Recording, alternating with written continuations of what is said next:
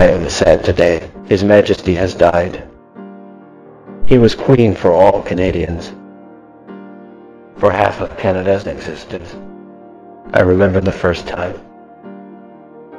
I met the Queen.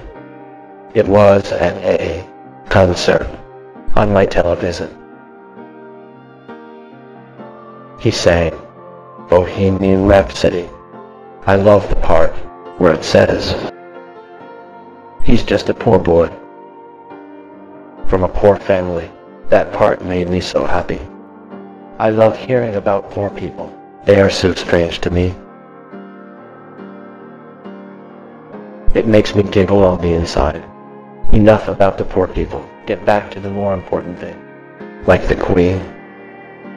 And me. Yesterday. I was so saddened by his passing. I got so wasted in my hotel room. Then Sophie kicked me out of the room.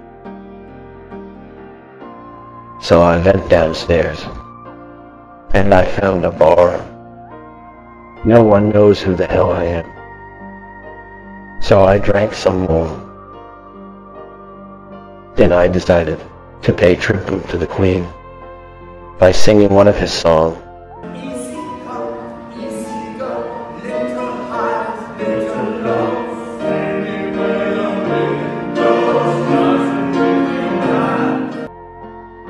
I got so shit-faced that night that I woke up in a park with no pants on.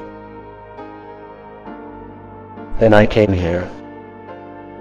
Before I take any question, has anyone seen my pants?